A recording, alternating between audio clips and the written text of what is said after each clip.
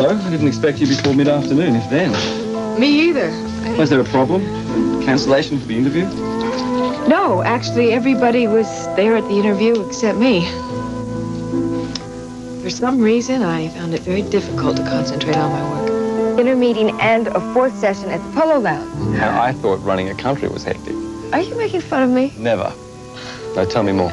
Well, then this morning I had a 7 a.m. breakfast meeting. Now, I can barely eat at that hour, much less negotiate. But that's 10 o'clock Washington Well, time. you are ruining my story. well, it wasn't until my um, 9 o'clock meeting that I began to have a problem. A problem? Yes, I, um, I began to have a very difficult time concentrating on how I could convince this reclusive rock star's press agent why I wasn't interested in the plight of independent zoo owners. This could be serious.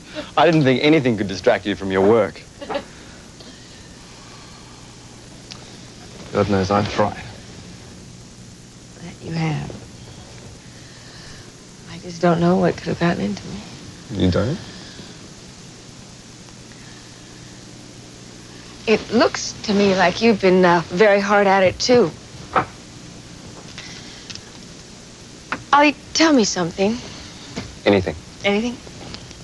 How, how can you afford to take the time out from running the country to fly halfway around the world? In pursuit of the world's second most stubborn woman, Second? I pray that somewhere in the world there's one woman more stubborn than you, but for the life of me, I can't imagine where. You didn't answer my question. Sloane, what you see before you is not one man, but two.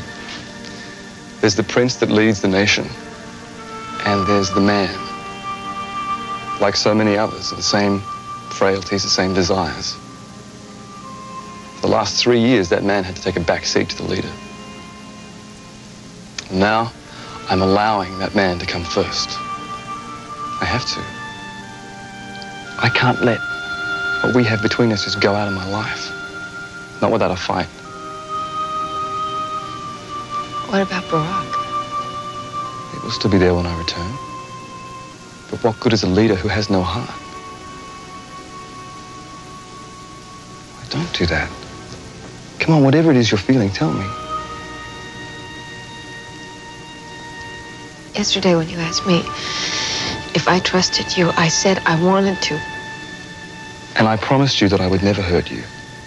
I understand how difficult it is for you right now to believe that. Sloane, it is the truth, I swear it. I believe you. It's just I don't know where we go from here.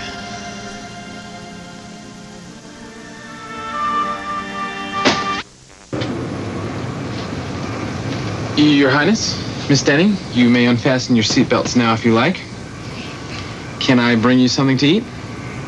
Uh, no, thank you. I'm not No, thanks. All right.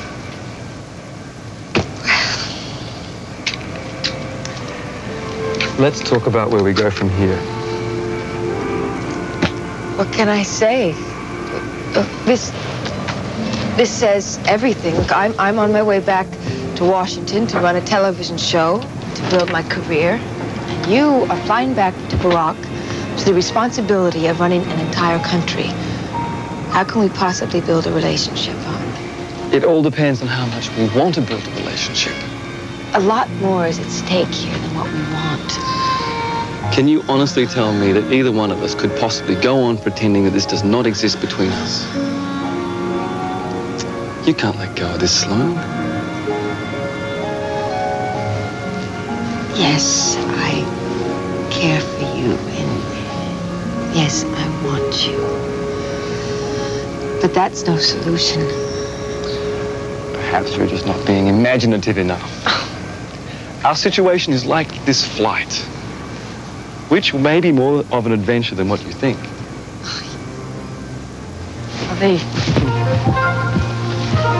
We're flying over the ocean. Are we? Ali, how can we be flying over the ocean if we're going back to Washington? Damn it, Ali, where are you taking me?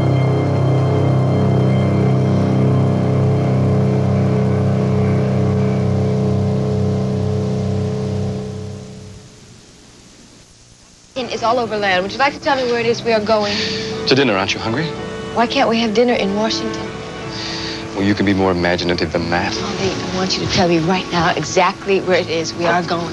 What should we have for first course? Ali, Now, if I told you, it wouldn't be a surprise, would it?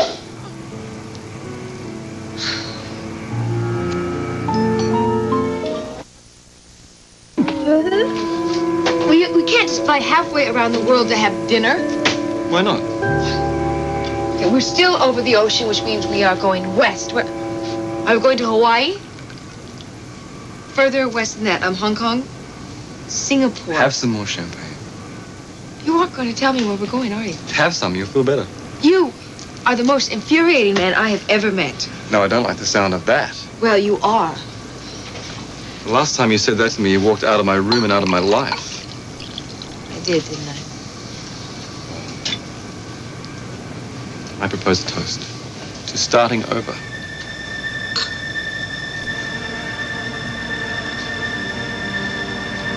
Starting over. You know, we, um, we do have a lot to talk about here. Ah, no, no. There's one condition to this very special evening. What's that? We do not talk about anything that's gone on before. There's no talk of politics or of your show or anything that's gone on. All right? There's no war going on. There's no world outside. This is just Sloane and Ali. Just the two of us. Deal? Or do I have to tell the pilot to turn the plane around and go back to Washington? You know, you drive a very hard bargain. It's one of my best qualities.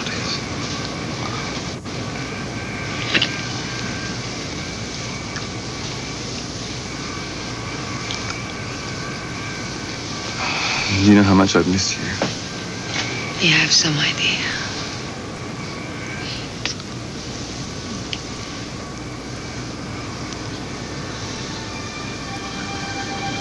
Ali, Hmm. where are we going to dinner? You never give up, do you? Never. Good. Neither do I.